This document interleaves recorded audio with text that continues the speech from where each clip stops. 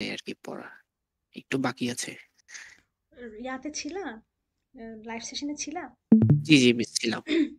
আচ্ছা মানে ম্যাথগুলো সে দেখতে বলছিলাম বাকিরা কেউই দেখো নাই? যেগুলা সাপ্লিমেন্টারি ভিডিও হিসেবে বাক্সে দেয়া আছে, করতে বলছিলাম যে বাসায়? ম্যাম কিছু দেখা হয়েছে আর কি আমাদের কিন্তু পরীক্ষা আছে নেক্সট। সো। হারি আপ আরকি। বাকি যারা দেখছ বা দেখো নাই একটু করে ফেলো। কারণ প্র্যাকটিস করলেই আসলে টাইম মতো পরীক্ষায় অ্যান্সার করতে পারবা। কারণ সময়টা খুবই লিমিটেড থাকে। সো বাসায় একটু প্র্যাকটিস করে স্টার্ট করো, হ্যাঁ? আচ্ছা লেটস মুভ অন। আমরা স্টার্ট করি। আজকে হচ্ছে আমরা ফার্স্টে যেই টপিকটা দেখব সেটা হচ্ছে electronic mail. So electronic mail basically একটা অ্যাপ্লিকেশন লেয়ার প্রোটোকল এবং ইলেকট্রনিক মেইলের মাধ্যমে আমরা যখন একটা সেন্ডার সাইড থেকে একটা রিসিভিং সাইডে একটা মেইল সেন্ড করি তখন আসলে কি কি কম্পোনেন্ট কাজ করে এবং কি কি প্রোটোকল কাজ করে will go through this in in this lecture so মেইলের major হচ্ছে দুইটা কম্পোনেন্ট আছে। একটা হচ্ছে তোমার এজেন্ট এবং server and another one is the protocol so যদি সেন্ডার সাইডে বলি, তাহলে সেন্ডার সাইড যে মেইলটা আসলে কম্পোজ করে সেন্ড করবে, সে হচ্ছে ইউজার এজেন্ট এবং হ্যালো শোনা যাচ্ছে আমার ইয়েস ম্যাম ইয়েস ম্যাম শোনা যাচ্ছে। জি মিস শোনা যাচ্ছে। আজকে মনে হয় একটু ডিসকর্ড বেশি প্রবলেম করতেছে। আচ্ছা। সো ইউজার এজেন্ট দেন হচ্ছে মেইল সার্ভার অ্যান্ড লাস্টলি হচ্ছে মেইল ট্রান্সফার প্রোটোকল যেটা হচ্ছে এসএমটিপি এখন ইউজার এজেন্ট বলতে আমরা কোন জিনিসটাকে বুঝি? ইউজার এজেন্ট বলতে আমরা বুঝি যে আমরা যেই মেইলের যে ক্লায়েন্ট সফটওয়্যারটা ইউজ করতেছি সেটা। সে আমাদের কি করে? সে আমাদের একটা ইন্টারফেস দেয় যার মাধ্যমে একজন পার্সন সেই ইন্টারফেসে মেইলটাকে কম্পোজ করতে পারে রিড করতে পারে এডিট করতে পারে। সো আমাকে কেউ বলতে পারবা এরকম একটা মেইল ক্লায়েন্ট বা ইউজার এজেন্ট যে ম্যাম জিমি হ্যালো এই তোমার সাউন্ডটা অনেক মানে ঝড়ের আওয়াজ আসতেছে একটু মিউট দাও হ্যাঁ। বলো তো। আচ্ছা তোমরা থান্ডারবার্ড ইউজ করছ?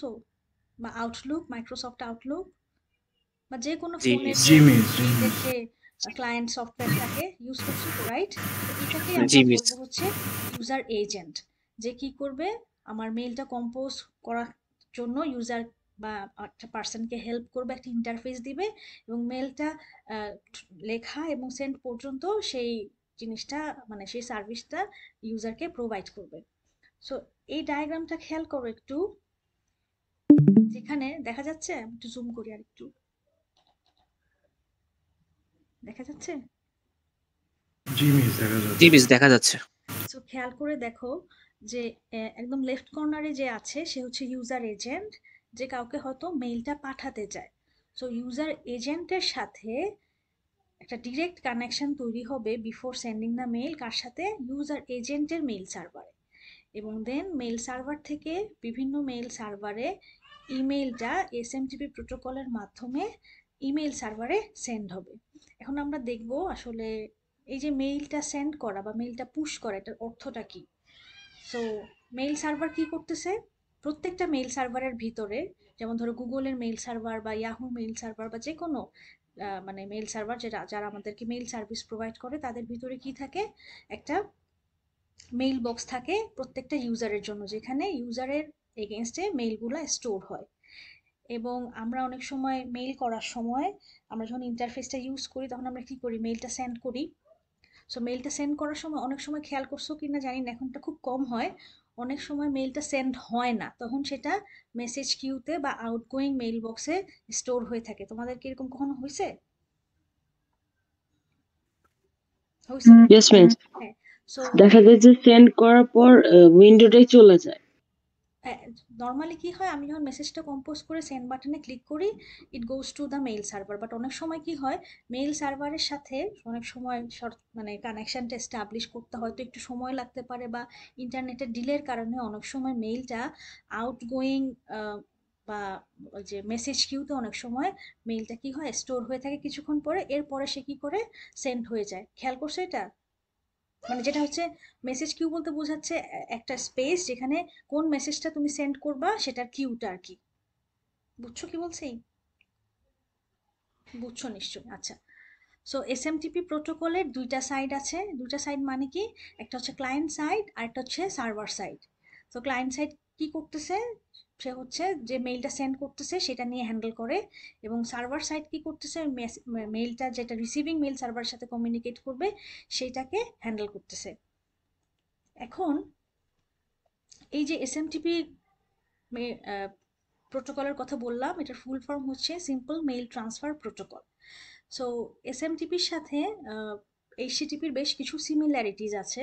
যেমন আমরা লাস্ট লেকচারে দেখেছিলাম যে এইচটিপি রিকোয়েস্ট করার আগে আমাদের কি কানেকশন তৈরি করতে হয় মনে আছে?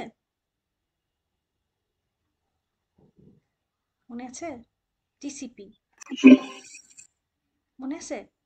টিসিপি রিকোয়েস্ট পাঠায় দেন টিসিপি রেসপন্স পাঠায় এরপরে HTTP request and HTTP response same ওয়েতে এসএমটিপি এর ক্ষেত্রেও ইউজারের সাথে মেইল সার্ভারের আগে টিসিপি কানেকশন এস্টাবলিশ করতে হবে। এরপরে মেইল রিলেটেড যেই মেসেজগুলা বা রিকোয়েস্টগুলা, তখন টিসিপি কানেকশনের পরে হ্যান্ডেল হবে। সো যখন আমি এসএমটিপি প্রোটোকলের মাধ্যমে মেইলটা সেন্ড করব, first the client is going to set a TCP connection with the email server এবং সেক্ষেত্রে আমার আমি যে ইমেল সার্ভারের সাথে কানেকশনটা এস্টাবলিশ করতেছি তার জন্য আমাকে ডেস্টিনেশন পোর্ট নাম্বার সিলেক্ট করতে হবে হচ্ছে টোয়েন্টি ফাইভ এইচটিপির ক্ষেত্রে কত ছিল? এইটটি ছিল না? আর হচ্ছে এসএমটিপির ম্যাম পোর্ট টোয়েন্টি ফাইভটা কি ইমেলের স্পেসিফিক পোর্ট অ্যাড্রেস হ্যাঁ ইমেইলের ডেস্টিনেশন ডেস্টিনেশন পোর্ট অ্যাড্রেস তো ক্লায়েন্ট সাইড থেকে ডেস্টিনেশন কে মানে আমি যদি ক্লায়েন্ট হই আমার ডেস্টিনেশন কে? ইমেইল সার্ভার না?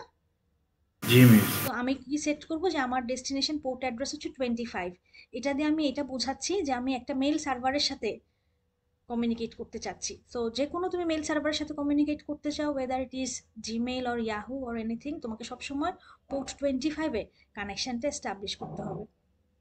ঠিক আছে? আচ্ছা। এক্ষেত্রে সো যখন টিসিপি কানেকশনটা এস্টাবলিশ হয়ে যাবে, তখন আমার কি হবে? তিনটা ফেজ হবে। সবার প্রথমে হচ্ছে হ্যান্ডশেকিং অ্যান্ড গ্রিটিংস সার্ভারের সাথে কানেকশন এস্টাবলিশ হবে। দেন তুমি যে মেসেজটা পাঠাতে চাও মেইলের মাধ্যমে, সেই মেসেজটা ট্রান্সফার হবে। এবং এর পরবর্তীতে তুমি যদি আর কোনো মেসেজ সেন্ডিং না থাকে then you will close your connection so electronic mail R S M TP আমাদের পারসিস্টেন্ট এসিটি পারসিস্টেন্ট কানেকশন ইউজ করে। ঠিক আছে?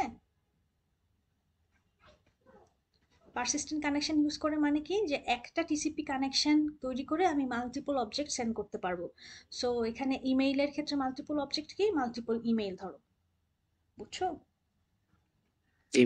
ওকে অ্যানাদার থিং হচ্ছে এটা এইচটিপির মতোই রিকোয়েস্ট এবং রেসপন্স নিয়ে কাজ করে। দ্যাট মিনস আমার একটা এইচটিপির যেমন আমি একটা রিকোয়েস্ট করতাম এবং রেসপন্স পাইতাম সেক্ষেত্রে ইমেইলের ক্ষেত্রেও কমান্ড এবং রেসপন্স এভাবে কাজ করে। সো এসএমটিপির ক্ষেত্রে সমস্ত ইন্টারাকশন আজকি টেক্সে কনভার্ট করে করতে হবে। দ্যাট মিনস তুমি যে কোনো ভ্যালুই লেখো না কেন ইমেইলের হেডারে বা ইমেইলের বডিতে তোমার সমস্ত টেক্সট বা ইমেজ ফাইলকে তোমাকে আজকি কোডে ক্যারেক্ট মানে কনভার্ট করে দেন তোমাকে সেন্ড অ্যান্ড রিসিভ করতে হবে। ইটস ম্যান্ডেটরি সো আজকে কোড হচ্ছে সেভেন বিটের লেন্থ হবে। খেয়াল করো নেক্সট আমরা যে জিনিসটা দেখব, সেটা হচ্ছে একটা ইমেইল যে সেন্ড করতেছে, ওর নাম হচ্ছে অ্যালিস এবং যে রিসিভ করবে, ওর নাম হচ্ছে বব এখন অ্যালিস থেকে বব পর্যন্ত মেলটা যেতে কি প্রসেসটা ফলো করবে, এটা আমরা এখন এই সিনারিওতে দেখব। এটা একটু ভালো করে বুঝতে হবে হ্যাঁ? একটু খেয়াল করুন। সবার প্রথমে যে মেইলটা পাঠাতে চায় অ্যালিস সে কি করবে? সে তার কম্পিউটারটা ওপেন করে যে কোনো মেইল ক্লায়েন্ট সফটওয়্যারটা ডাবল ক্লিক করে ওপেন করবে। সেটা ওপেন করার পরে সে কি করবে? যাকে সে ইমেইলটা লিখতে চায়, তার অ্যাড্রেসটা অ্যাড্রেস বারে লিখবে। ঠিক আছে? দেন সে মেসেজটা কম্পোজ করবে। বুঝতেছ? মেসেজটা কম্পোজ করার পরে যখন তার মেসেজটা রেডি হয়ে যাবে, তখন সে কি করবে? মেসেজে সেন্ড বাটনে ক্লিক করবে। এখন মেসেজটা যখন সেন্ড বাটনে ক্লিক করবে, তারপরে কি হবে? তারপরে যে জিনিসটা হবে সেটা হচ্ছে ইম্পর্টেন্ট যেমন Alice user agent send message to her mail server message places in message queue that means Alice যখন ববের ইমেল অ্যাড্রেসটা দিয়ে মেইলটাকে রেডি করে সেন্ড বাটনে চাপ দিল, সাথে সাথে কিন্তু ববের মেইল সার্ভারে ইমেলটা যাবে না। সবার প্রথমে ওই মেইলটা অ্যালিসের ইউজার এজেন্টের জায়গা থেকে সবার প্রথমে যেই জায়গাটায় ইমেলটা স্টোর হবে সেটা হচ্ছে অ্যালিসের মেইল সার্ভারে বোঝা গেছে? আচ্ছা এখন যেহেতু এই মেইলটা অ্যালিসের মেইল সার্ভারে স্টোর করা হবে তা এই জিনিসটা করার আগে যে কাজটা করতে হবে সেটা কি? অ্যালিসের পয়েন্ট অফ জায়গা থেকে দ্যাট মিনস অ্যালিসের পিসির সাথে বা ল্যাপটপের সাথে অ্যালিসের মেইল সার্ভারের আগে একটা টিসিপি কানেকশন তৈরি করতে হবে। বোঝা গেছে? দুজনের মধ্যে টিসিপি কানেকশন এস্টাবলিশ করার পরে অ্যালিস যখন অ্যালিসের মেইল সার্ভারের সাথে কানেক্টেড অবস্থায় থাকবে তারপরে কিন্তু এই কাজগুলো হবে। ওকে সো সবার প্রথমে অ্যালিস যখন তার ইমেল ক্লায়েন্টটা সফটওয়্যারটা ডাবল ক্লিক করে ওপেন করল এবং ইন্টারফেসটা আসলো দ্যাট টাইমে কিন্তু কি হচ্ছে আমার? অ্যালিসের মেইল সার্ভারের সাথে অ্যালিসের একটা টিসিপি কানেকশন এস্টাবলিশ হচ্ছে। দ্যাট মিনস সে মেইল সার্ভারটা হচ্ছে ready to receive those messages TCP connection establish হওয়ার পরে কি হইল? অ্যালিস যখন মেইলটা রেডি করে সেন্ড বাটনে চাপ দিল অ্যালিসের মেইল সার্ভার সেই মেইলটা অ্যালিসের মেইল বক্সে স্টোর করে রাখল। আচ্ছা এখন অ্যালিসের মেইল বক্স তো আর হচ্ছে ডেস্টিনেশন ডেস্টিনেশন কে? বব তাই না? তার মানে it's the responsibility of Alice's mail server to send that message or that mail to Bob তাহলে তার অ্যালিসের মেইল সার্ভারটা কি করবে? ববের যে মেইল সার্ভার আছে, তার সাথে একটা কানেকশন তৈরি করবে। বুঝছ কি বলছি? ওকে সো সবার প্রথমে অ্যালিস তার কম্পিউটার থেকে যখন সাইন ইন করবে মেইল সার্ভারে সেক্ষেত্রে একটা এসএমটিপি কানেকশন তৈরি হচ্ছে এবং তার আগে একটা টিসিপি কানেকশন তৈরি হচ্ছে। সবার প্রথমে টিসিপি কানেকশন তৈরি হচ্ছে। টিসিপি কানেকশন হওয়া মানে হচ্ছে অ্যালিসের মেইল সার্ভার ইজ রেডি যখন সে রেডি হবে মেইলটা কম্পোজ করে যখন অ্যালিস মেইল সার্ভারে মেইলটা সেন্ড করতেছে তখন হচ্ছে এসএমটিপির কাজটা হচ্ছে উইচ ইজ নাম্বার টু ঠিক আছে?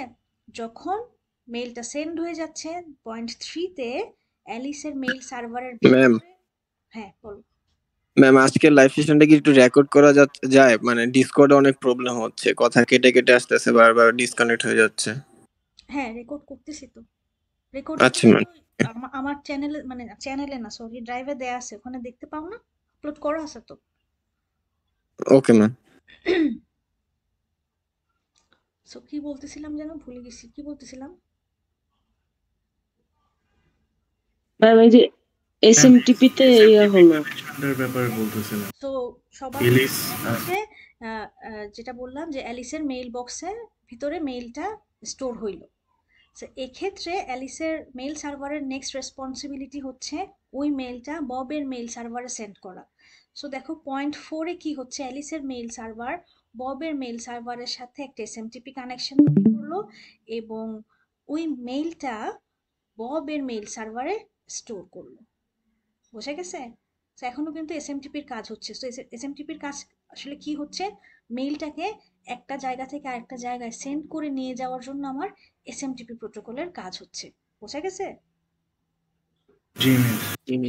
ওকে সো এখানে একটু পড়ি কি বলছে দেখো।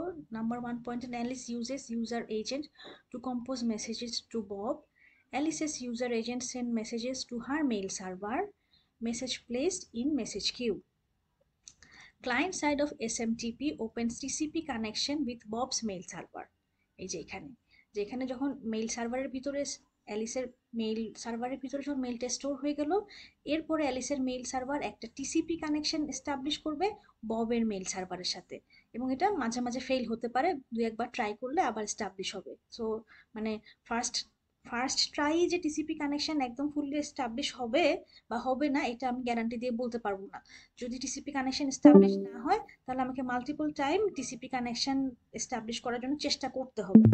যখন টিসিপি কানেকশন এস্টাবলিশ হয়ে যাবে দেন কি করবে? অ্যালিসের মেইল সার্ভারটা ববের মেইল সার্ভারে মেসেজটাকে ফরওয়ার্ড করবে বা মেসেজটাকে পুশ করবে। বোঝা গেছে? দেখো The SMTP client sent Alice's message over the TCP connection.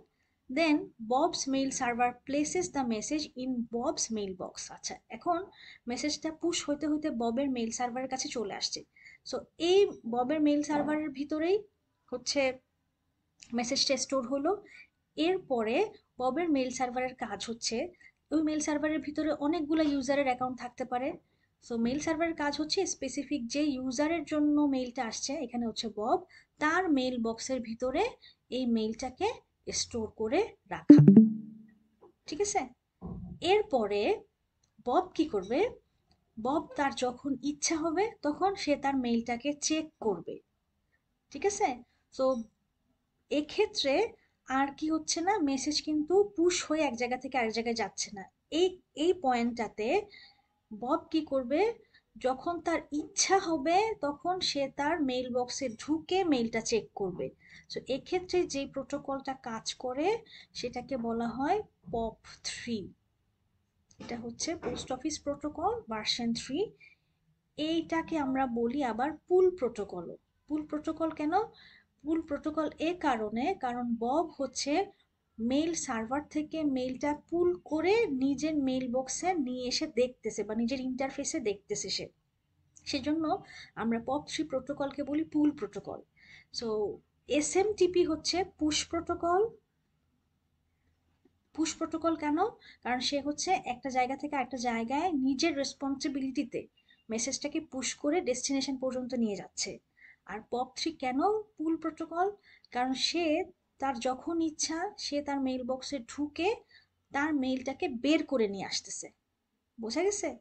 Ma'am usually কি আইম্যাপ ইউজ করা আইম্যাপও ইউজ করা যায়?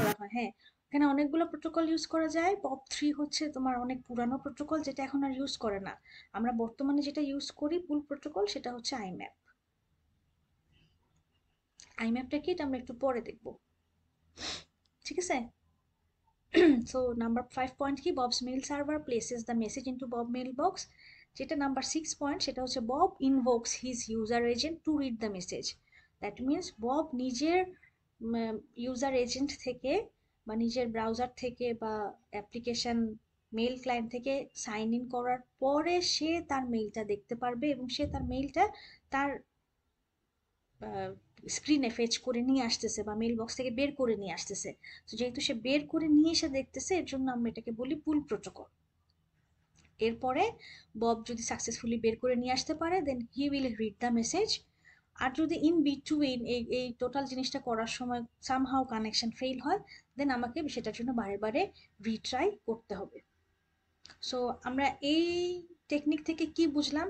একটা মেইল ট্রান্সফারের জন্য দুইটা প্রোটোকল লাগে একটা হচ্ছে কি এসএমটিপি আর একটা হচ্ছে পপ অথবা আইম্যাপ সো এসএমটিপি কিসের জন্য লাগতেছে? মেইলটাকে সেন্ড করার জন্য।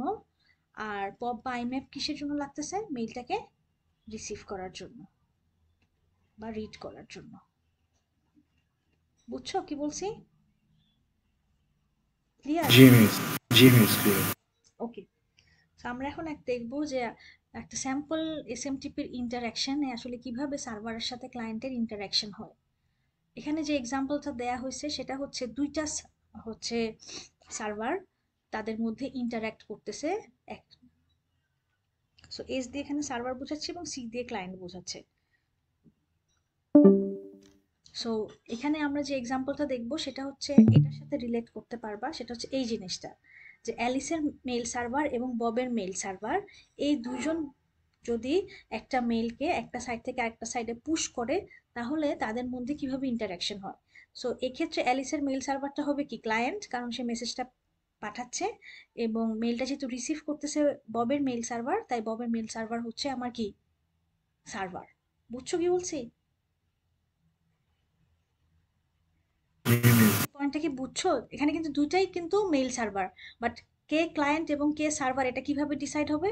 যে মেইলটা পাঠাবে, সে হচ্ছে ক্লায়েন্ট আর যে মেইলটা স্টোর করবে নিজের মেইল সার্ভারের ভিতরে, সে হচ্ছে কি? সার্ভার ওকে সো এখানে প্রথমে যে সার্ভারটা দেয়া আছে, সেটা হচ্ছে হ্যামবার্গার ডট এডু সে হচ্ছে সার্ভার হিসেবে কাজ করতেছে, এবং আরেকটা সার্ভার হচ্ছে ক্রেপস ডট এফআর সে হচ্ছে ক্লায়েন্ট হিসেবে কাজ করতেছে। সো ক্লায়েন্ট সে হচ্ছে সার্ভারকে একটা হ্যালো মেসেজ পাঠাইলো এবং সার্ভার ইন রিপ্লাইয়ে এটা হচ্ছে কোড টু ফিফটি সে তাকে হ্যালোটা ব্যাক করল। ঠিক আছে? তাই এরপরে বলো please to meet you so দুইটা সার্ভারের মধ্যে এখন কি হইল? কানেকশনটা এস্টাবলিশ হয়ে গেল এস এম টিপির কানেকশন বুঝছ?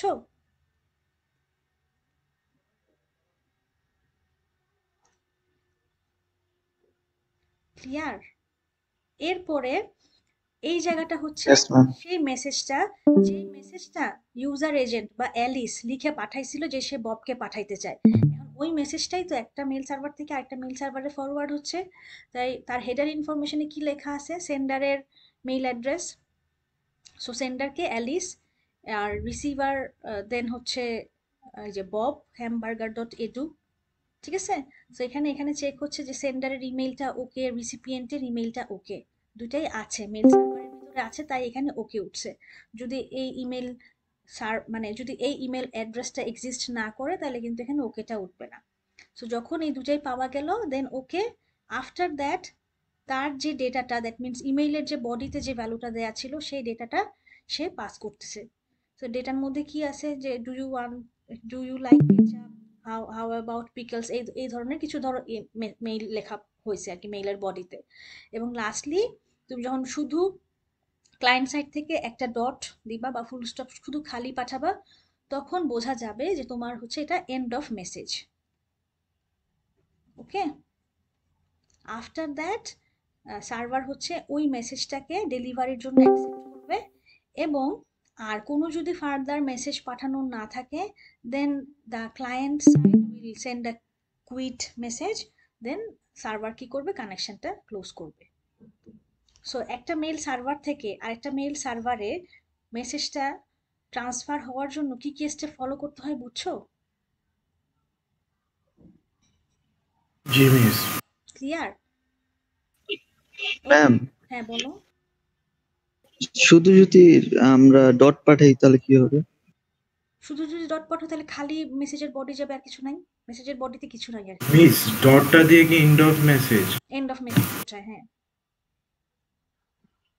বুঝছ? সো আচ্ছা তাহলে আমাকে বলো, সবার প্রথমে আমাদের কি করতে হচ্ছে? টিসিপি কানেকশন তৈরি করতে হচ্ছে। তারপরে এসএমটিপির কানেকশনের জন্য যে রিকোয়ারমেন্টগুলো আছে, সেটা ফিল আপ করতে হচ্ছে। এরপরে এসএমটিপি যখন রেডি হয়ে যাবে দেন সেন্ডারকে রিসিভারকে এটা বলতে হবে। এরপরে যে মেসেজটা আমি পাঠাতে চাচ্ছি, একটা সার্ভার থেকে আরেকটা সার্ভারে সেই মেসেজটা সার্ভার সাইডে ফরওয়ার্ড করতে হবে দেন মেসেজটা শেষ করে কানেকশনটা ক্লোজ করতে হবে। বোঝা গেছে? আচ্ছা। তো যদি বোঝা যায়, তাহলে আমরা একটু আগাই সামনে। যেটা আমি একটু আগেই বলে ফেলছি যে এসএমটিপি হচ্ছে পারসিস্টেন্ট কানেকশন ইউজ করে উইচ মিনস আমি একটা টিসিপি কানেকশন ইউজ করে মাল্টিপল অবজেক্ট বা মেসেজ পাঠাতে পারব। এবং এসএমটিপি সবসময় সেভেন বিট অফ আস্কিতে আমার মেসেজের বডি এবং হেডারটা লিখে পাঠায়। এবং সেই ম্যাচ এসিটিপি এসিটিপির মধ্যে ছিল যে ক্যারেজ রিটার্ন এবং নিউ লাইন দিয়ে এন্ড অফ মেসেজ বোঝায়, এখানেও সেম একই। এসএমটিপির ক্ষেত্রেও তুমি এটা দিয়ে একটা করে এন্ড অফ মেসেজ বোঝাবার মানে প্রত্যেকটা টেক্সটের শেষে তুমি যদি স্ল্যাশ আর এবং স্ল্যাশ এন দাও, তাহলে তুমি এন্ড অফ মেসেজ দিয়ে ইন্ডিকেট করতে পারবা। একটু আগে যেটা বললাম যে এসএমটিপি হচ্ছে push protocol that means it's pushes the message from one place to another এবং পপ থ্রি হচ্ছে পুল প্রোটোকল আর এইচটিটিপিও হচ্ছে পুল প্রোটোকল আচ্ছা এখন আমাকে কি কেউ বলতে পারবা এইচটিটিপি কেন পুল প্রোটোকল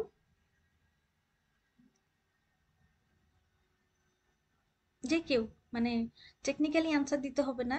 কেন মনে হয় যে এইচটিপি পুল প্রোটোকল বা পুশ তোমাদের কি মনে হয় এইচটিপি কি পুল প্রোটোকল না পুশ প্রোটোকল পুল পুশের পার্থক্য তো বোঝা গেছে নাকি? HTTP full protocol push pull মানে কি আর পুশ মানে কি? পুশ মানে হচ্ছে ধাক্কা দেওয়া রাইট একটা জায়গা মানে আমি একটা হ্যাঁ। ধাক্কা দিচ্ছি। সো এসএমটিপি হচ্ছে কি করতেছে? ধাক্কা দিয়ে দিয়ে মেইল সাইড থেকে সার্ভার সাইডে মেসেজটা নিয়ে যাচ্ছে। এটার জন্য এটা হচ্ছে push protocol but HTTP pull protocol কেন? এইচটিপি এই কারণে পুল প্রোটোকল কারণ আমি কি করতেছি? আমি হচ্ছে এইচটিপি সার্ভার থেকে মেসেজটা বের করে নিয়ে আসতেছি না। আমি যখন এইচটিটিপি রিকোয়েস্ট পাঠাই এইচটিপি রেসপন্সে কি করে? মেসেজটা সার্ভার থেকে বের করে নিয়ে এসে ক্লায়েন্টের ব্রাউজারে শো করে। সো এইচটিপির মাধ্যমে আমি কি করতেছি? সার্ভারের ভিতরে যে অবজেক্টগুলো স্টোর করা আছে সেটা আমি পুল করে বের করে নিয়ে আসতেছি। তাই এইচটিপি হচ্ছে পুল প্রোটোকল বুঝছ কি বলছি?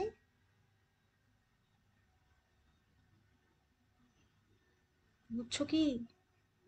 জি মিস বুঝতে পারছি। Yes ma'am okay so SMTP কাজ করে হচ্ছে সার্ভার টু সার্ভার অথবা ক্লায়েন্ট টু সার্ভার সাইডে যেমন ধরো আমি যখন একটা মেল কম্পোজ করে সেন্ড করতেছি মেল সার্ভারে তখন এসএমটিপি কাজ করতেছে। আবার সার্ভার থেকে সার্ভারে মেলটা ট্রান্সফার করার সময় এসএমটিপি কাজ করতেছে। কিন্তু যখন কোনো একটা ইউজার তার মেইলটাকে রিড করার জন্য মেইলটাকে সার্ভার থেকে বের করে নিয়ে আসতেছে তখন ইউজ হচ্ছে কোনটা? পুল প্রোটোকল পপ প্রোটোকল ঠিক আছে?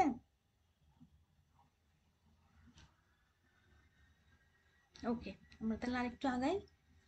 সো এসএমটিপি মাধ্যমে আমরা যখন মেসেজ একটা ফরওয়ার্ড করি, তখন আমাদের মেসেজের একটা নির্দিষ্ট ফরম্যাট থাকে লাইক এইচটিটিপি এখানেও সেম থাকে, একটা হচ্ছে হেডার আর একটা হচ্ছে বডি সো হেডার ইনফরমেশনে আমরা মেইলের হেডার ইনফরমেশনে কি লিখি? আমার মেইলের সেন্ডারকে মানে ফ্রম কে টু কে এবং মেইলের সাবজেক্ট কি? এটা হচ্ছে আমার হেডার ইনফরমেশন আর বডিতে থাকে হচ্ছে আমি অ্যাকচুয়ালি কোন মেসেজটা সেন্ড করতে চাচ্ছি সেটা। ওকে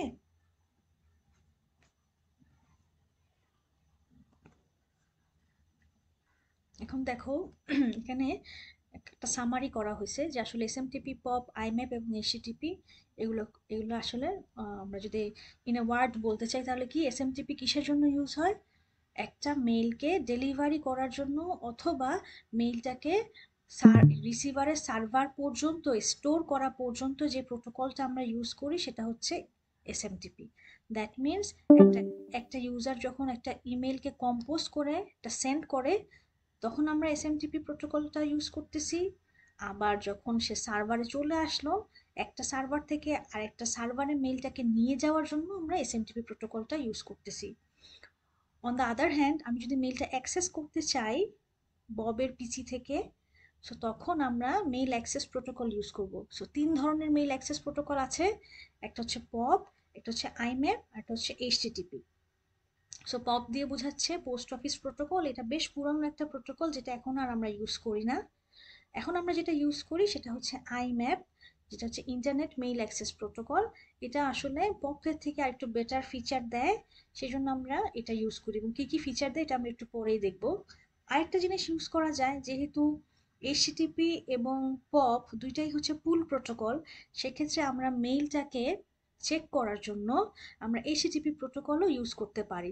যেটা আমরা ওয়েব বেসড যখন আমরা ব্রাউজারে ইমেইলের ইমেইলটা নিয়ে কাজ করি, তখন আমরা এইচটিপি প্রোটোকলের মাধ্যমেই মেসেজটা আসলে আমরা আমাদের ইউজার এজেন্টে এটা পুল করে নিয়ে আসতেছি। সো জিমেইল ইয়াহু মেইল এই যে ওয়েব বেসড যে ইমেল সার্ভিসগুলো আছে, তারা ইমেল চেক করার জন্য এইচটিপি প্রোটোকলটা ইউজ করে। বাট আমরা তো ইমেল সেন্ডও করতেছি রাইট ওয়েব বেসড টেকনিক দিয়ে তো আমরা ইমেল সেন্ডও করি তাই না? তো সেক্ষেত্রে এসিটিপি কিন্তু এসএমটিপি কে কল করবে ইমেল সেন্ড করার জন্য। এই জিনিসটা মনে রাখো। বুঝছ কি বলছি?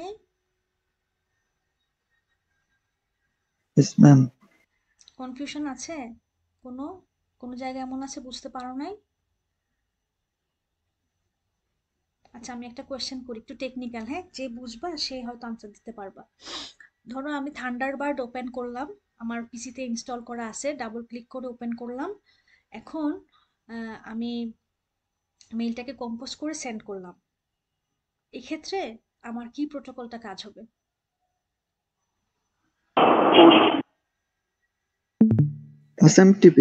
এসএমটিপি আচ্ছা। এখন আমি আমার গুগল ক্রোম ব্রাউজারটা ওপেন করলাম।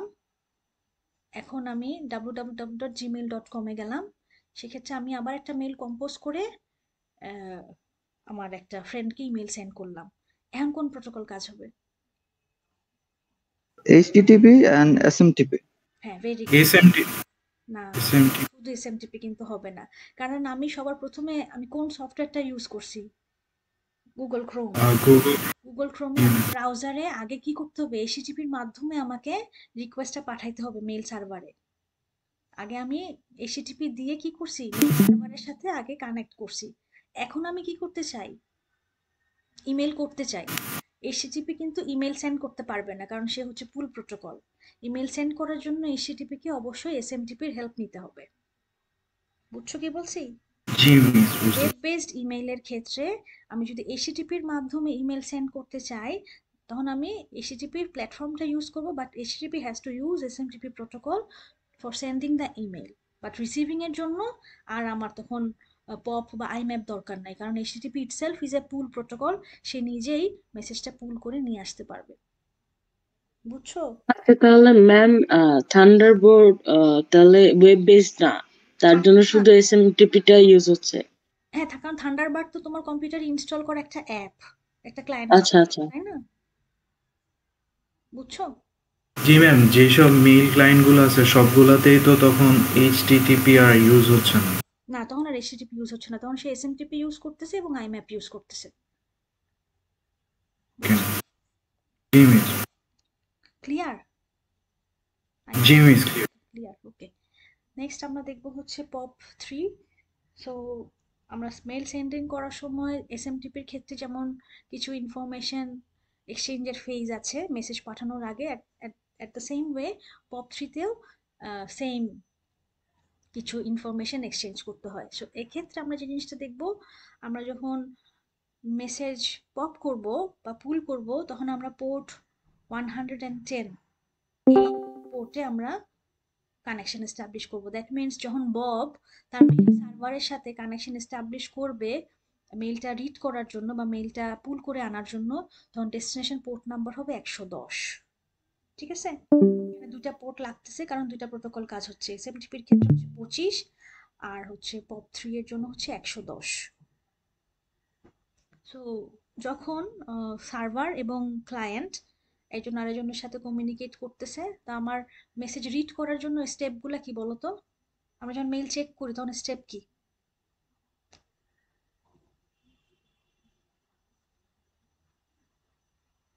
বলো, একজন বলো। ম্যাম লগ ইন করতে হবে ইউজার নেম পাসওয়ার্ড দিয়ে ভেরি গুড সবার প্রথমে আমার সার্ভারের সাথে ইউজার নেম এবং পাসওয়ার্ড দিয়ে আমার লগ ইন করতে হবে। আমার অ্যাকাউন্ট যদি ওই সার্ভারে থাকে দ্যাট মিনস আমি অথরাইজড আমি ঢুকতে পারব। এরপরে আমি আমার মেইল বক্সে আমার মেসেজগুলো দেখতে পারব। সো ফার্স্ট ফেজ হচ্ছে অথরাইজেশন ফেজ এখানে ইউজার নেম এবং পাসওয়ার্ড দিয়ে আমাকে অথরাইজ করা হবে। আমি যদি ইউজার হই, তাহলে আমাকে সাকসেসফুলি লগ ইন দেখাবে। আফটার দ্যাট আমি আমার মেইলটাকে চেক করতে পারব করতে পারব। সো এক্ষেত্রে বেশ কিছু মেথড আছে যেটা কল করা যায়। যেমন আমি আমার মেইলগুলোকে ডাউনলোড করতে পারি ডাউনলোড করার পরে আবার কিপ করতে পারি, আবার চাইলে ডিলিটও করতে পারি। আমি মেইলকে লিস্ট আকারে সাজাতে পারি, তারপরে মেইলগুলোকে রিট্রাইভ করতে পারি, এবং লাস্টলি আমি চাইলে মেইলগুলো ডিলিটও করতে পারি। অ্যান্ড লাস্টলি আমি সাইন আউট করে ফেললাম। সো এক্ষেত্রে দেখো এখানে এটার এক্সাম্পল দেখাইছে যে ক্লায়েন্ট তার মেইলগুলোকে যদি লিস্ট করতে চায়, তো তার বর্তমানে দুইটা মেইল আছে এবং এটা হচ্ছে মেইলের সাইজ এরপরে সে মেইলটা আবার রিট্রাইভ করতে চাইলো সো সে রিট্রাইভ কমান্ডটা লিখলো এবং এক নাম্বার মেসেজটাকে রিট্রাইভ করতে চায় সো এক নাম্বার মেসেজের কন্টেন্টটা শো করবে। চাইলে সে ডিলিট করতে পারে, আবার সেকেন্ড মেসেজটাকে রিট্রাইভ করতে পারে। এ ধরনের আর কি কিছু মেথড দেখানো হয়েছে যে আসলে আমি সাইন ইন করার পরে আমি কি কি কাজ করতে পারি? ইউজুয়ালি আমরা মেইল কি করি? পড়ি ডিলিট করি মেইল বক্স ফাঁকা করি, তাই তো? সো জেনারেলি যখন আসলে মেইল টেকনোলজিটা তৈরি হয়েছিল তখন আসলে পপ থ্রি ইউজ করা হতো। বাট এখন আমরা যেই টেকনিকটা ইউজ করি বা যেই পুল প্রোটোকলটা ইউজ করি সেটাকে বলা হয় আইম্যাপ সো আইম্যাপের সুবিধা কি ওভার পপ থ্রি এটাই আমরা এখন দেখব। সো পপ থ্রি এর ক্ষেত্রে আগে যখন পপ ছিল, পপ একটা জিনিস করা হতো ডাউনলোড অ্যান্ড ডিলিট মানে আমি যখন মেইলটা দেখে ফেললাম ক্লিক করে, তখন সে মেইলটা কী হবে? ডাউনলোড হয়ে যাবে এবং সার্ভার থেকে ডিলিট হয়ে যাবে। সো সেকেন্ড টাইম বব কি করতে পারবে না? সেই সার্ভার মানে সেই সার্ভার থেকে মেইলটাকে আবার রি রিড করতে পারবে না। একবার যদি ডাউনলোড হয়ে যায় সার্ভার থেকে আর ওটা থাকবে না। আবার কি আছে? যে ডাউনলোড অ্যান্ড কিপ সে ডাউনলোড করবে, আগেরটা ছিল যে ডাউনলোড করলে অটোমেটিক্যালি ডিলিট হয়ে যাবে মেল সার্ভার থেকে।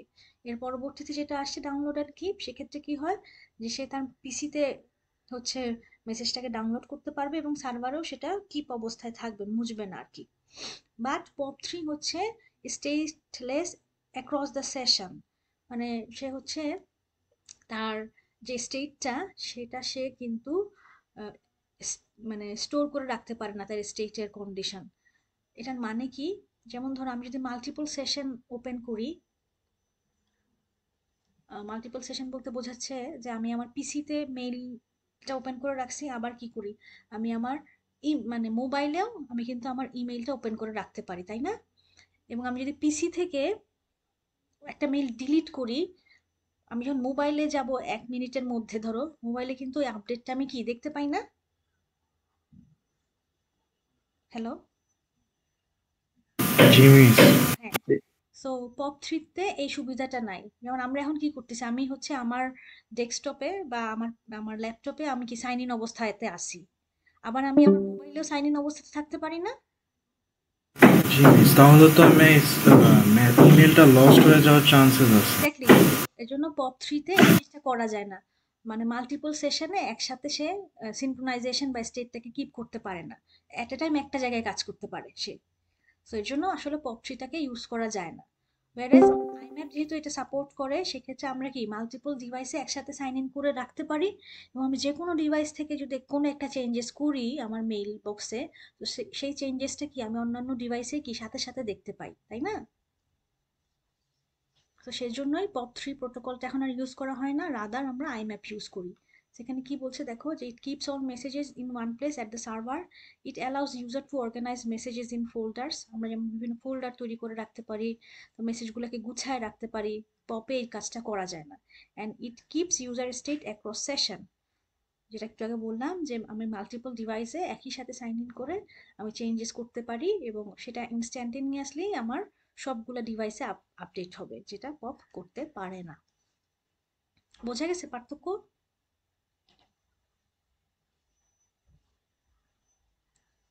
আচ্ছা যদি বোঝা যেয়ে থাকে, তাহলে আমরা মেইলের ক্ষেত্রে আমরা এতটুকুই পড়ব। এরপরে আমরা যে জিনিসটা পড়ব, সেটা হচ্ছে ডিএনএস সো কারও যদি মেইল ট্রান্সফার নিয়ে কোনো কোয়েশ্চেন বা কোয়ারি থাকে ইউ ক্যান আস্ক ম্যাডাম আইম্যাপের পোর্ট কত? আইম্যাপের পোর্ট হচ্ছে ওয়ান ফর্টি থ্রি পপের জন্য হচ্ছে তোমার একশো দশ, আর আইম্যাপের জন্য হচ্ছে একশো তেতাল্লিশ। ওকে তো এখন আমরা যেটা দেখব সেটা হচ্ছে ডিএনএস ডিএনএস সম্পর্কে আমরা মোরলেস জানি যে ডিএনএস হচ্ছে ডোমেইন নেম সিস্টেম এই আমাদেরকে একটা অ্যাপ্লিকেশন লেয়ারে একটা সার্ভিস দেয় উইচ ইজ আমার যেই আইপি অ্যাড্রেসটা আছে, তার এগেনস্টে যে ইউআরএলটা আছে, সেটার অ্যাড্রেসটা প্রোভাইড করা। যেমন আমরা যদি লিখি W W W dot BRACU dot AC dot BD so এই পেজটা কোনো একটা ফিজিক্যাল ডিভাইসে আছে, যে হয়তো ইন্টারনেটে আছে। সে যেহেতু ইন্টারনেটে আছে সো তার একটা আইপি অ্যাড্রেস আছে। সে আইপি অ্যাড্রেসটা ধরলাম one ninety two one sixty two dot ten suppose তাহলে ডিএনএস সার্ভারের কাজ হচ্ছে কি? ইনফরমেশন স্টোর করা। কি ইনফরমেশন স্টোর করা? যে কোন আইপি অ্যাড্রেসের এগেনস্টে কি হোস্ট নেম আছে সেটা। সো আমাদের যে নিয়ারেস্ট ডিএনএস সার্ভারগুলো আছে, তার কাজ একটাই যে W W W dot BRACU dot AC dot BD যে আইপি অ্যাড্রেস কত, সেই ইনফরমেশনটা সে স্টোর করে রাখছে। এবং আমরা যখন একটা ওয়েব পেজ দেখতে চাই বা ওয়েব পেজের ঠিকানা আমরা ইউআরএল এ লিখি, তাহলে সেই ওয়েব পেজের এগেনস্টে কোন আইপি অ্যাড্রেসটা আছে, সে সেটা খুঁজে বের করে এবং এই আইপি অ্যাড্রেসটাতে যাওয়ার জন্য কীভাবে আমি যাইতে পারব বা কোথায় ইনফরমেশনটা আছে, এটা খুঁজে বের করবে হচ্ছে আমার রাউটারটা সো ডিএনএস সার্ভার আমাকে কি প্রোভাইড করবে? আইপি অ্যাড্রেসটা অ্যান্ড আইপি অ্যাড্রেসে যাওয়ার জন্য আমি কোন পথে যাব, সেটা খুঁজে বের করবে হচ্ছে আমার নিয়ারেস্ট রাউটারটা বোঝা গেছে কি বলছি? বুঝছ?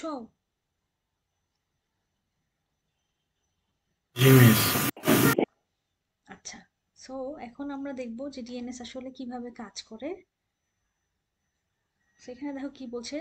The user machine runs the client side of DNS application the browser extract the host name W W W dot dot edu from U R L and passes the host name to the client side of the DNS application আচ্ছা the DNS client sends the query containing the host name to the DNS server the DNS client eventually receives a reply which includes the IP address of the host name so আমার browser থেকে আমি যখন একটা address লিখলাম যে সামস্কুল dot এডুতে আমি যাইতে চাই, তখন আমার ব্রাউজার থেকে এই পেজে যাওয়ার জন্য আমার কোন আইপি অ্যাড্রেসে যাইতে হবে, তার জন্য আইপি অ্যাড্রেসটা খুঁজে বের করতে হবে। এবং আইপি অ্যাড্রেসটা খুঁজে বের করবে কে? আমার ক্লায়েন্ট সাইডের যে ডিএনএস আছে বা ডিএনএস সার্ভার আছে সে। তাহলে ডিএনএস সার্ভার কি করবে? রিকোয়েস্টটা নেবে যে আমার ইউজার সামস্কুল ডট এডু এখানে যেতে চাচ্ছে। তাহলে আমি আমার ডিএনএস সার্ভারের ভিতরে ঢুকে কি খুঁজে বের করব? যে এই সামস্কুল ডট এডুর এগেনস্টে কি আইপি অ্যাড্রেস আছে সেটা বের করব। ঠিক আছে? সো আইপি অ্যাড্রেস আমি যেহেতু যখন পেয়ে যাব, তখন কি করবে? আমার আমার সাইডের যেই ব্রাউজারটা আছে, সে আইপি অ্যাড্রেসটা পাবে ডিএনএস থেকে এবং আইপি অ্যাড্রেস পাওয়ার পরে সে আসলে লোকেশনটা বুঝতে পারবে কোথায় আছে। লোকেশনটা খুঁজে বের করবে রাউটার তো তারপরে সে আমার ব্রাউজারকে একটা ইনফরমেশন দিবে এবং তারপরে আমার ব্রাউজার বা আমার পিসি একটা টিসিপি কানেকশন এস্টাবলিশ করতে পারবে সাম স্কুল ডট এডু এই ব্রাউজার এই ওয়েব সার্ভারের সাথে। বুঝে গেছে? সো ডিএনএস এর কাজ মানে খুবই অল্প কিন্তু খুবই ইম্পর্টেন্ট কারণ যে কোনো ইনিশিয়েশন আমি করতে চাই না কেন, যে কোনো সার্ভারের সাথে বা যে কোনো ফিজিক্যাল ডিভাইসের সাথে আমার কি লাগবে ওই ফিজিক্যাল ডিভাইসটা কোথায় আছে তার আইপি কত সেটা? এবং ডিএনএস সার্ভারে কি করতেছে এই যে পৃথিবীর যত সব এরকম ফিজিক্যাল ডিভাইস আছে বা ওয়েব সার্ভারগুলো আছে সেই ওয়েব সার্ভারগুলোর নাম কি? এবং তার এগেনস্টে তার আইপিটা কত? সেটা সে স্টোর করে রাখে। ঠিক আছে? ওকে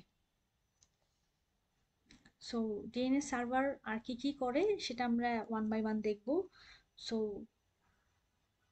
এই যে ইনফরমেশনটা যে কোন হোস্ট নেমের আন্ডারে কোন আইপি অ্যাড্রেস আছে, এই ইনফরমেশনটা কন্টিনিউয়াসলি সবারই লাগতেছে বা প্রত্যেকটা ক্লায়েন্টই ডিএনএস সার্ভারকে একটু পর পরে রিকোয়েস্ট করে যে আমাকে এই ওয়েবসাইটের এই ওয়েবসাইটের আইপিটা বলো, এই ওয়েবসাইটের আইপিটা বলো। তো ডিএনএস সার্ভারের কাজ হচ্ছে এই আইপি গুলা সে ডিএনএস ক্যাশ করে রাখে। যেটা বললাম যে তার যে স্টোরেজ আছে সেখানে সেই ইনফরমেশনগুলো স্টোর করে। এবং ডিএনএস ক্যাশের মধ্যে কোন ইনফরমেশনগুলো স্টোর করা থাকে? আর পৃথিবীর সব ওয়েব সার্ভারের ইনফরমেশন তো একটা ডিএনএস সার্ভারের ভিতরে স্টোর করা সম্ভব না। তাই সবসময় তারা সেই লোকেশনগুলা বা সেই আইপি অ্যাড্রেসগুলার স্টোর করে রাখে যেটা বেশি বেশি ইউজার রিকোয়েস্ট করে। বুঝতে পারছ কি বলছি? ইয়েস ম্যাম ওকে আরও শিখে কিছু কাজ করে, সেটা হচ্ছে host aliasing mail server aliasing host aliasing বলতে বোঝাচ্ছে আমার একটা ওয়েবসাইটের মাল্টিপল নাম থাকতে পারে। যেমন তার অ্যাকচুয়াল নাম ধরো অনেক বড় বা তার একটা ছোট শর্ট নেমও থাকে। যেটা ধরো ধরো একটা সার্ভারের নাম হচ্ছে অ্যাকচুয়াল নাম হচ্ছে ধরো গুগল সার্ভারের ধরো something something something something dot Google dot com আছে, ধরো। তো এখানে তার অ্যাকচুয়াল নামটা অনেক বড়, কিন্তু ইউজারের তো বড় একটা নাম মুখস্থ রাখা সম্ভব না। ইউজারের সুবিধার জন্য একটা বড় বা ক্যানোনিক্যাল নামের একটা ছোট নাম থাকে, যেটাকে আমরা শর্ট নেম বলি ধরো সেটা হচ্ছে গুগল ডট কম তো ইউজারের যেহেতু গুগল ডট কম লিখতে বা মনে রাখতে সুবিধা সেটা মনে রাখে। সো ডিএনএস সার্ভারের একটা সার্ভিস হচ্ছে, সে হচ্ছে হোস্ট অ্যালিয়াজিং করে। দ্যাট মিনস যে একটা ডিভাইসের বা একটা সার্ভারের যদি মাল্টিপল নাম থাকে দুটা দিয়ে যদি একই লোকেশনকে কল করা হয় তখন আমি এটাকে বলি হচ্ছে হোস্ট অ্যালিয়াজিং সে একটা বড় নামের এগেনস্টে একটা ছোট নাম স্টোর করে এবং ইউজারের সুবিধার্থে সেই কাজটা করে। তখন আমি যখন ম্যাম আপনার কথা শুনতে পাচ্ছি না। আমার কথা শোনা যায় না? এখন? হ্যালো এই যাচ্ছে তো সমস্যা ছিল। না। তাহলে মনে তোমার সাইডের নেটের একটা প্রবলেম হতে পারে একটু। আচ্ছা যেটা বলতেছিলাম হোস্ট অ্যালিয়াজিং মানে হচ্ছে একই হোস্ট তার যদি দুইটা নাম থাকে, একটা বড় নাম, একটা ছোট নাম, তাহলে কোন বড় নামের এগেনস্টে কোন ছোট নাম, এটা সে তার সার্ভারে স্টোর করে। এই প্রসেসটাকেই বলা হয় host aliasing mail server aliasing মানে হচ্ছে কোনো একটা ডোমেইনের এগেনস্টে কোনো যদি মেইল সার্ভার থাকে, তাহলে ওই মেইল সার্ভারের নামটা কি সেটাও ডিএনএস সার্ভারে স্টোর করা থাকে। আচ্ছা এখন আমরা দেখব যে আসলে ডিএনএস সার্ভারটা কীভাবে কাজ করে এবং এটা কি পৃথিবীর সমস্ত ইনফরমেশন একটা ডিএনএস সার্ভারেই এরকম স্টোর করে রাখা থাকে, নাকি আসলে জিনিসটা এরকম না ডিস্ট্রিবিউটেড এই জিনিসটাই আমরা এখন দেখব। খেয়াল করো ডিএনএস সার্ভারের যে আর্কিটেকচার এটা একটা হায়ারার্কি মেনটেন করে। হায়ারার্কি বলতে বোঝায় এক একটা লেভেল সো সবার উপরে যে লেভেলটা আছে, সেটাকে আমরা বলি রুট ডিএনএস সার্ভার এরপরে তার আন্ডারে যেটা আছে, সেটাকে আমি বলি টপ লেভেল ডোমেইন আচ্ছা টপ লেভেল ডোমেইনের নিচে যেটা আছে, সেটাকে আমরা বলি অথরিটেটিভ ডিএনএস সার্ভার আচ্ছা এখন এটা কীভাবে কাজ করে? সাপোজ আমাকে একটা ওয়েবসাইটের অ্যাড্রেস বলো যে কোনো তোমাদের যেটা ইচ্ছা। আচ্ছা অ্যামাজন ডট কম সো এটা ধরো তোমার পিসি তোমার নাম কি?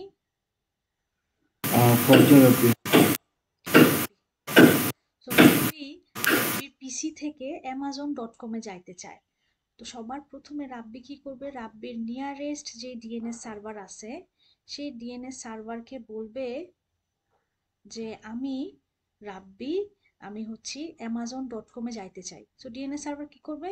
ওর রিসোর্সগুলো চেক করবে ফাইল যেগুলো সে স্টোর করে রাখছে। সে দেখল তার ডিএনএস সার্ভারের ভিতরে অ্যামাজন ডট কম নামে কোনো অ্যাড্রেস নাই। সাপোজ তাহলে ডিএনএস সার্ভার রাব্বিকে কি বলবে? যে নাই?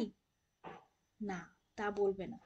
তো ডিএনএস সার্ভারের কাজ হচ্ছে তার কাছে যদি অ্যামাজন ডট কমের information that means Amazon dot কমের আইপি অ্যাড্রেস স্টোর করা থাকে, সে সরাসরি ক্লায়েন্টকে বলবে যে তার আইপি অ্যাড্রেস হচ্ছে এত।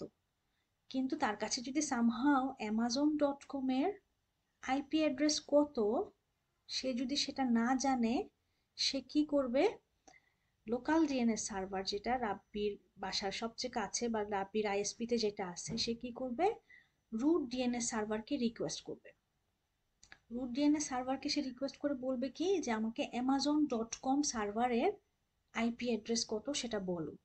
অ্যান্ড রুট ডিএনএস সার্ভারের ভিতরে কি আছে? তার যে নিচের ডোমেইনটা আছে, যেটাকে আমরা টপ লেভেল ডোমেইন বলি, সেই ডোমেইনের আইপি অ্যাড্রেসগুলো এখন ও বলবে, ওর ভিতরে কি অ্যামাজন ডট কম কোথায় আছে সেটা আমি জানি না, কিন্তু আমি জানি ডট কম ডোমেন কই আছে? কি বলছি বুঝছ? তো রুট ডিএনএ সার্ভারের ভিতরে কি আছে? টপ লেভেল যে ডোমেনগুলো আছে তার ইনফরমেশন তার ইনফরমেশন মানে কি? তার IP অ্যাড্রেসগুলো so root DNS server Amazon dot কমের আইপি অ্যাড্রেস বলতে পারবে না কিন্তু কমের আইপি অ্যাড্রেস বলতে পারবে। সো তার কাছে ডট কমটা কি টপ লেভেল ডিএনএস সো কি করবে? ডট কম ডিএনএস সার্ভার যেগুলো আছে, তার আইপি অ্যাড্রেস সে বলবে। আচ্ছা তো সে কি করবে? রুট ডিএনএস সার্ভার এই রিকোয়েস্টটাই কম সার্ভারকে দিয়ে দিবে কম ডিএনএস সার্ভারকে অ্যান্ড কম ডিএনএস সার্ভার কি দেখবে? কম দিয়ে যেই নামগুলো আছে, তার ইনফরমেশন তার কাছে আছে। তো কম দিয়ে আছে কি কি এরকম? Facebook dot com Amazon dot com Google dot com আরও সামথিং ডট কম যেটাই যত আছে সেগুলা। সো কম ডিএনএ সার্ভারের ভিতরে কোন ইনফরমেশনগুলো আছে? যেগুলা ডট কম এক্সটেনশন দিয়ে যে ডোমেইনের নামগুলো শেষ হয়েছে সেটা।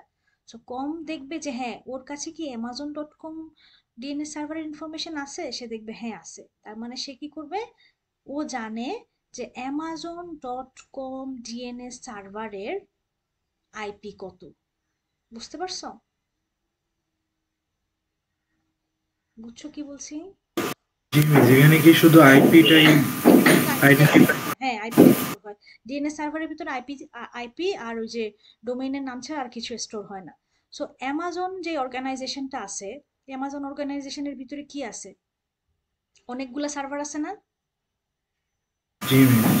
আমি ধরে অ্যামাজন যে অর্গানাইজেশনটা আছে ওর একটা ডিএনএস সার্ভার আছে ওর একটা ওয়েব সার্ভার আছে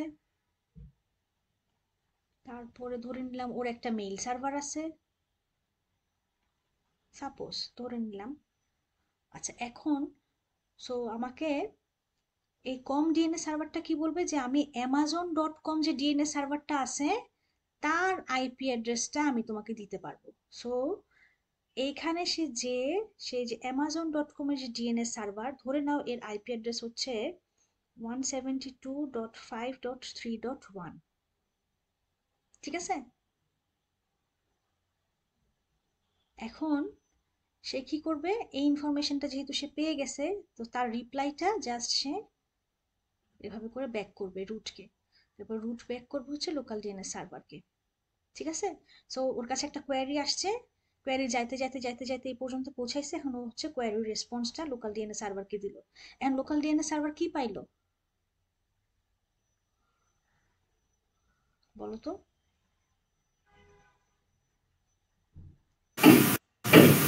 আইপি অ্যাড্রেস আইপি অ্যাড্রেস এটা কার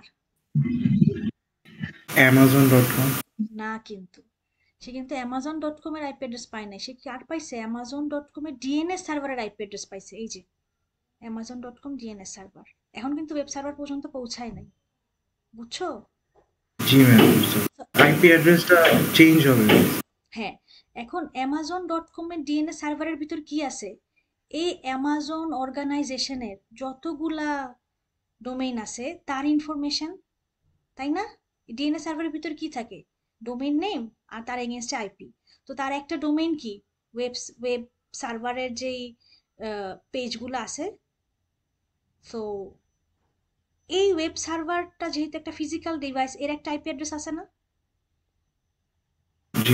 এর আইপি অ্যাড্রেস ধরো ten dot five dot seven dot zero ধরো তার মানে এই যে অ্যামাজন ডট কম যে ডোমেনটা তার যে ডিএনএস সার্ভার আছে, তার ভিতরে কি আছে?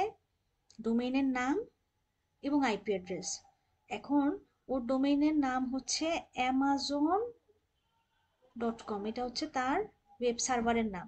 এই ওয়েব সার্ভারটার এগেনস্ট আইপিটা কত? Ten dot five dot seven dot zero তার মানে ডিএনএস সার্ভার আসলে কি স্টোর করতেছে? ওয়েব সার্ভারের নাম এবং তার করসপন্ডেন্ট আইপি সো যখন তার লোকাল ডিএনএস সার্ভার কার লোকাল ডিএনএস সার্ভার রাব্বির লোকাল ডিএনএস সার্ভার যখন অ্যামাজনের ডিএনএস সার্ভারে রিকোয়েস্ট করতেছে, তখন অ্যামাজনের ডিএনএস সার্ভার তাকে একটা রিপ্লাই দিচ্ছে যে, তুমি যে অ্যামাজন ডট কমে যেতে চাচ্ছ, তাহলে তার আইপিটা হচ্ছে ten dot five dot seven dot zero তখন সে লোকাল ডিএনএস সার্ভার ওয়েব সার্ভারের আইপি পেয়ে গেছে। এরপরে সে তার ব্রাউজারকে এই রেসপন্সটা দিবে। যে তুমি যে অ্যামাজন ডট কমে যাইতে চাইছিলা, সেই ওয়েব সার্ভারের এগেনস্টের আইপি হচ্ছে এত। এখন তুমি এই আইপির এগেনস্টে একটা টিসিপি রিকোয়েস্ট পাঠাও, তারপরে তুমি ওয়েবসাইটটা দেখতে পারবা। এবার বুঝছ? তো এখানে কিন্তু স্টেপ কিন্তু অনেকগুলা, তাই না? সো আমি ডিএনএস কোয়েরি করে করে করে করে করে করে আসলে কোন জিনিসটা দেখতে পারি?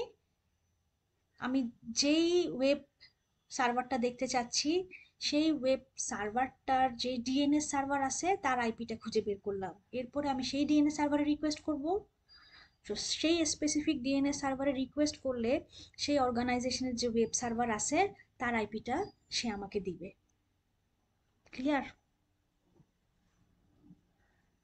বুঝছ কি? হ্যাঁ বলো। কারও কোনো কোয়েরি আছে? আচ্ছা যদি না থাকে তাহলে আগাই। সো এই যে, এই জিনিসটা যে ডিএনএস এর যে ইনফরমেশনটা সেটা কি আসলে এভাবে ডিস্ট্রিবিউটেড ভাবে বিভিন্ন সার্ভারে স্টোর করা থাকে? এবং একটা সার্ভারে এটা কি অসম্ভব?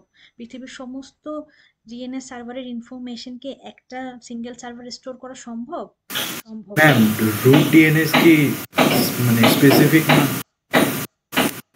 রুট ডিএনএস সার্ভারগুলো রুট ডিএনএস সার্ভারগুলার কোনো আসলে তেমন কোনো কাজ নাই। সে হচ্ছে একটা রিকোয়েস্ট নেয় লোকাল ডিএনএস সার্ভার থেকে এবং সে তার নিচের যেখানে যাইতে হবে যে টপ লেভেল ডোমেইনে যাইতে হবে তার কাছে ফরওয়ার্ড করবে। তো রুট নেম সার্ভারের ভিতরে বা রুট রুট ডিএনএস সার্ভারের ভিতরে কি স্টোর করা আছে? যে টপ লেভেল ডোমেইনের যে ডিএনএস সার্ভারগুলো আছে তার আইপি অ্যাড্রেসগুলো আর কিছু নাই। বুঝছ? So so root DNS server কি হয় basically it is contacted by the local DNS server যখন লোকাল ডিএনএস সার্ভারটা কোনো আইপি কে রিজলভ করতে পারে না, তখন সে রিকোয়েস্টটা রুটকে পাঠায় এবং রুট তারপরে তার টপ লেভেল ডোমেইন এবং টপ লেভেল ডোমেইন অথরিটেটিভ ডোমেইনকে এভাবে জাস্ট রিকোয়েস্টটা ফরওয়ার্ড করে আইপিটা বের করে নিয়ে আসে। সো বেসিক্যালি সারা পৃথিবীতে মোটামুটি তেরোটা লজিক্যাল রুট ডিএনএ সার্ভার আছে এবং প্রত্যেকটা সার্ভারের এরকম হাজারো হাজারো রেপ্লিকা তৈরি করে রাখা হয়েছে। কারণ এরকম অসংখ্য রিকোয়েস্ট কন্টিনিউয়াসলি আসতেছে। সো যদি আমি ফিজিক্যাল একটা, দুইটা বা পাঁচটা বা দশটা করে রুট ডিএনএ সার্ভার রাখি, সে কিন্তু আসলে সবার প্রসেসটা হ্যান্ডেল করতে পারবে না। সো আছে হচ্ছে তেরোটা এবং এটারই অসংখ্য রেপ্লিকা সারা ওয়ার্ল্ডে ছড়ানো আছে। বুঝছ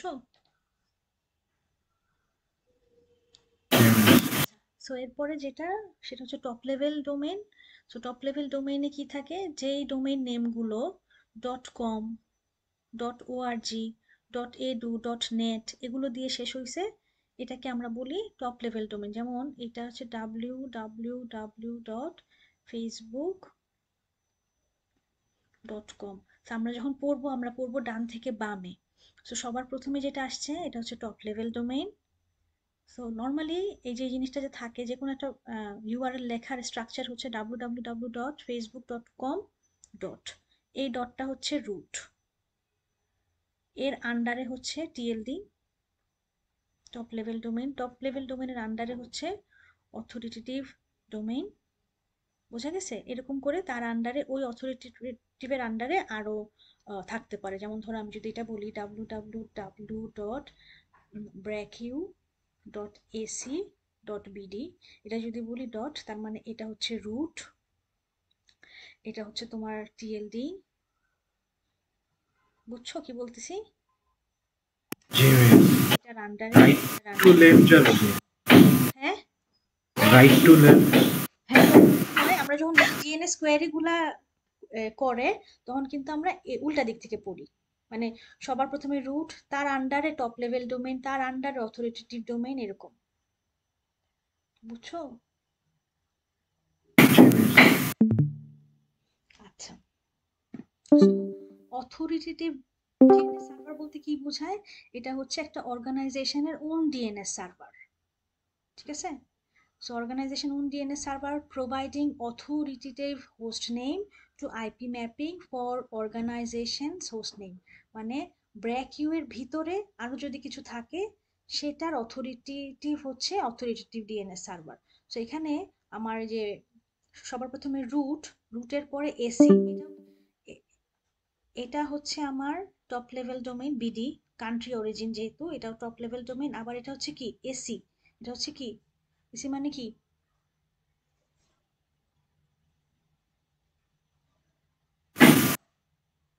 একাডেমিক একাডেমিক ভেরি গুড তো এটা হচ্ছে আরেকটা তার আন্ডারে হচ্ছে বাংলাদেশের আন্ডারে একাডেমিক একটা ডোমেইন ওই একাডেমিক ডোমেইনের আন্ডারে কোন অর্গানাইজেশন ব্র্যাকিউ বুঝা গেছে?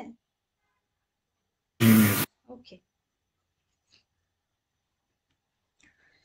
ওকে এরপরে যেটা আছে এরপরের হায়ার আর কি সেটা হচ্ছে local DNS server local DNS server কি? যেটা হচ্ছে এই যে এটার এটার এটা ব্র্যাকিউ এর ভিতরে। ব্র্যাকিউ এর ভিতরে আমাদের কি? একটা লোকাল ডিএনএস সার্ভার আছে।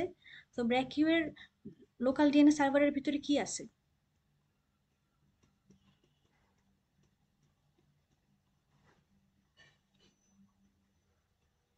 ব্র্যাকিউ লোকাল ডিএনএস সার্ভারের ভিতরে কি আছে? ওই সব আইপি অ্যাড্রেস যেই ওয়েব সার্ভারগুলা ব্র্যাকিউ এর আন্ডারে ঠিক আছে? বুঝছ?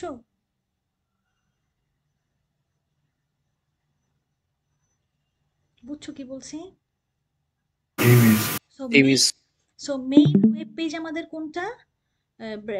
BRACU dot AC dot BD এখন ব্র্যাকিউর আন্ডারে যদি ধরো এরকম আরও ওয়েব সার্ভার থাকে যেটা হচ্ছে ধরো social dot BRACU dot AC dot BD so এটা ব্র্যাকিউ এর আন্ডারে সেই ওয়েব সার্ভারের ভিতরে কি আছে? ব্র্যাকিউর ভিতরে যে সোশ্যাল অ্যাক্টিভিটিগুলো হয়, সেই ইনফরমেশন যেটা এখানে স্টোর করা থাকে, সেটা ধরো এই ওয়েব সার্ভারটা তো ব্র্যাকিউর লোকাল ডিএনএস সার্ভারের ভিতরে আমি কি পাবো? যে social dot BRACU dot AC dot বিডির IP অ্যাড্রেসটা হচ্ছে one ninety two dot one sixty eight dot two dot one আবার ধরো এন্টারটেনমেন্ট বলে একটা কিছু আছে entertainment dot BRACU dot AC dot BD তার আইপি অ্যাড্রেস ধরো one ninety two one sixty eight two dot five এবার বুঝছ এই মিস তার মানে একটা ডিএনএস সার্ভারের ভিতরে তার অথরিটির ভিতরে যেই জিনিসগুলো আছে, তার ইনফরমেশনগুলো লোকালি স্টোর করা থাকে। ওকে সো নর্মালি প্রত্যেকটা আইএসপির একটা লোকাল ডিএনএ সার্ভার থাকে বা কোনো বড় অর্গানাইজেশন ইউনিভার্সিটি বা কোম্পানির একটা করে নিজস্ব লোকাল ডিএনএস সার্ভার থাকে। সেখানে তার নিজস্ব যেই ওয়েব সার্ভারগুলো আছে, তার আইপি অ্যাড্রেস থাকে। At the same time local DNS সার্ভারের ভিতরে আবার সেই আইপি অ্যাড্রেসগুলোও স্টোর করা থাকে, যে আইপি অ্যাড্রেসগুলোর জন্য রিকোয়েস্ট বেশি বেশি করে ক্লায়েন্ট সাইট থেকে আসে।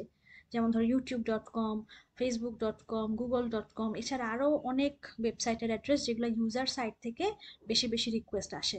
সেটা কীভাবে হ্যান্ডেল করা হয়? এক একটা দেশে বা এক একটা এরিয়ার উপর আগে দেখা হয় যে আসলে তারা কোন কোন জিনিসের জন্য বেশি রিকোয়েস্ট করে।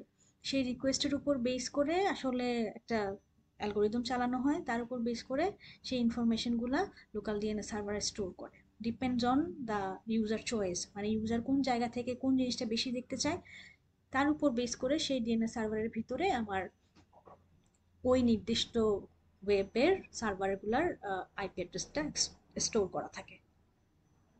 বুঝাইতে পারছি?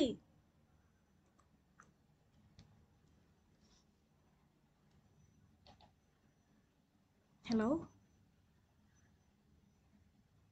শুনতেছো? জি মিস বুঝছি মিস। আচ্ছা বুঝলে তাহলে এখন তো তিনটা বিশ বেজে গেছে তাহলে এতটুকু থাকুক নাকি শেষ করে দিব? আর ছয়টা স্লাইড আছে। শেষ করব? নো মিস শেষ করব না? থাক মিস মানে পরের ক্লাসে পড়ি ভালো লাগবে তখন।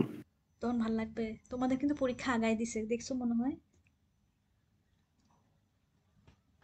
আচ্ছা ঠিক আছে আমরা তাহলে বাকিটা পরের ক্লাসে পড়ব তাহলে আজকে এখানে শেষ করি ওকে?